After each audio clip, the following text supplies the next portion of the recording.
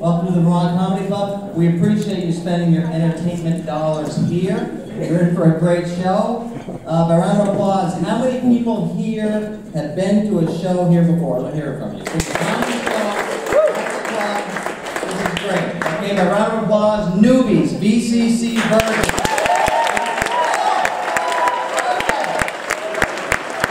First time, wow. By round of applause, how many people don't clap in public at all? Clap, I don't clap. I don't clap in public. Oh, this is great. This is great. Thanks for coming out. If you haven't been, I'll, go over this for the newbies here today. The way this works here is that we have three comics for you. The show is about 90 minutes. I'm your opener. I warm up the room, tell a few jokes up here. We have a feature person. We brought in a great comic originally from the Northeast Kingdom of Vermont. Yes, in the UK. She no longer lives there. She was asked to leave. and we have our, our, our um, headliner from Boston. He has about an hour at the end. Of the 15 bucks you paid to get in here, he gets just about all of it. Uh, so uh, they will be serving drinks during the show. Servers work really hard. Be sure to tip your servers. Uh, cell phones, keep that to a minimum, please. The light distracts people behind you. If the comics talk to you, feel free to talk back. I feel like a dad giving a lecture here. You know, here are the rules. Your mother's had a tough day. And it's uh, the middle of the month, so.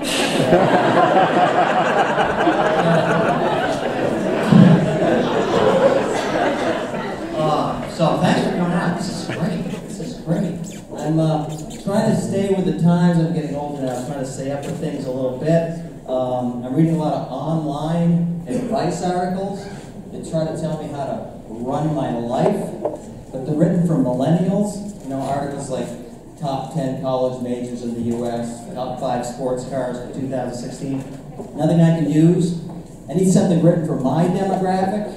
Something like uh, three ways to get your 27 year old the hell out of the house.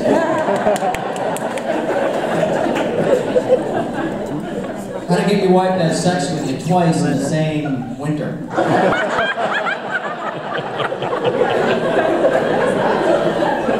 Manscaping, a gray area. Something, something something practical. I apologize for grabbing my crotch. I'm married, so somebody has to do it. First marriage joke, first marriage joke, here we go. That's where we're going tonight. Uh, so, um, Valentine's Day tomorrow, great. Any people on a Valentine's Day date? Taking their honey out, significant other, you here for that? Huh? That's kind of cool, right? Valentine's Day. And I think it's appropriate that Valentine's Day is exactly one week after the Super Bowl, because I approached Valentine's Day with my wife the same way Denver approached the Super Bowl. Do some scouting, try to score some points. If I can get past the defense and stick it in the red zone, somebody gets a nice ring. That's pretty good. Uh, so, uh, yeah, I'm a married guy. Here for the married people. Married people, if you're married. Right. The guys are clapping, the women are going, Jesus Christ. I know, ladies, it's kind of hard to clap with a gun in your mouth. Uh, but, uh, so I'm married 29 years, and um, thank you, thank you. And, uh, you know, I love my wife to death, but I can't help but think that maybe human beings aren't wired to mate for life. I think you're sleeping with the same person for 29 years It's kind of like reading a really good book that you hope will never end. And then it doesn't. It's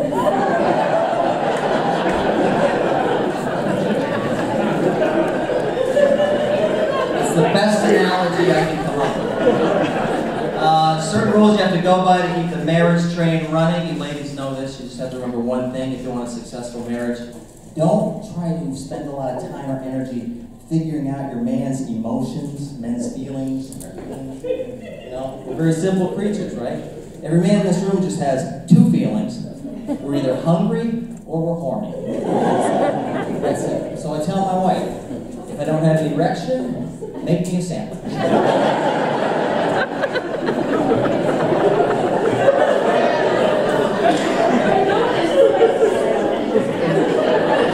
I watched that like six Guys, you have to remember three things. You married, sir?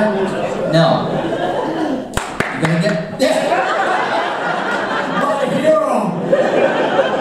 Um, have you been married? Never. I love married? Any married people up close? I got some advice I want to give 29 years. 29 years. And a pen if you want to take notes. Um, guys, got to remember three things if you want to stay married. Don't cheat. Tell her she's beautiful every day. And don't pee in the shower. Ever. Ever. Good for athlete's feet. June of 86, I had peed in the shower exactly once. My wife caught me and went ballistic. Of course, I can't say I blame her. She was taking a bath at the time.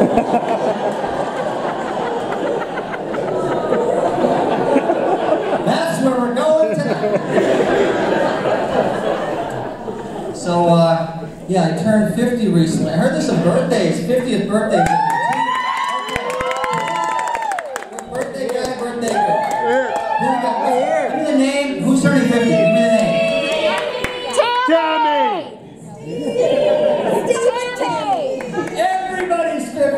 Yeah, some, one person. The names of the people turning 50. I can't see. Tammy. Tammy's 50 and I'm not 50 yet. Tammy and Steve. Yes! Congratulations. 50. That's 350 in dog years. So uh, I turned 50 recently, uh, about six years ago. and uh, you know, it's, it's kind of dep- really once you hit 50, you're on the back nine. You know, unless you live to 100, you have more past than future, and that, that kind of depresses me. But my wife, my wife, God bless her, she tries to make me feel better. She says, Tony, relax. You're in good shape, and you know what they say? 50's the new 40. Have you heard this bullshit, Tammy?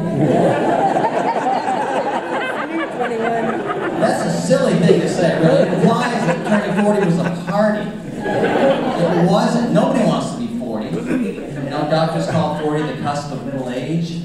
I call it the land of the walking dead.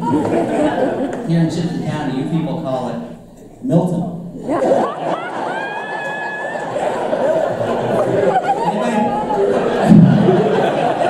Milton people here? I'm so gonna get my ass. I love, I'm kidding, I love Milton.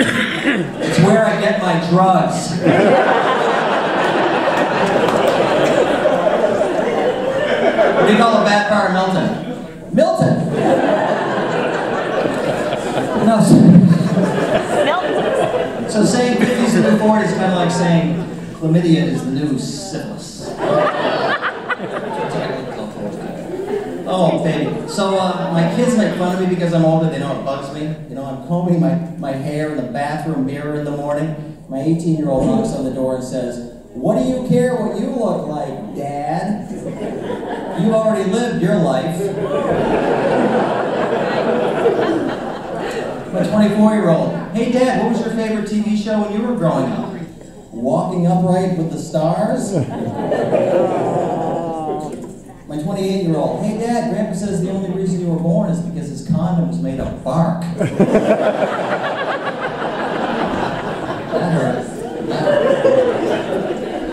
that. So, any dads in the audience? We got some dads, fathers. I've three kids, father, dad. Okay, and how many of you, anybody here, the current thing now is you be in the birthing room when the baby comes out. Anybody done that? Why?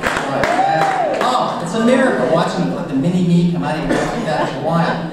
It got weird for me after, okay? Because the baby's there, he's fine, my wife's fine. The OBGYN hands me some scissors and says, Mr. Bates, would you like to cut the cord? I said, no, I would not.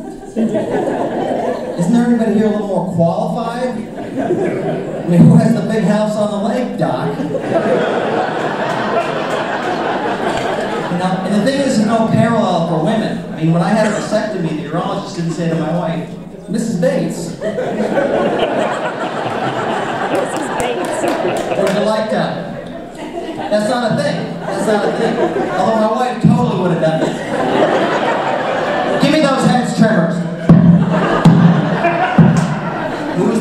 Acting now, sperm boy. and then, uh, you know, when the baby comes out, seeing my wife up close like that down there, when the baby came out, it's kind of like watching your favorite restaurant burn down.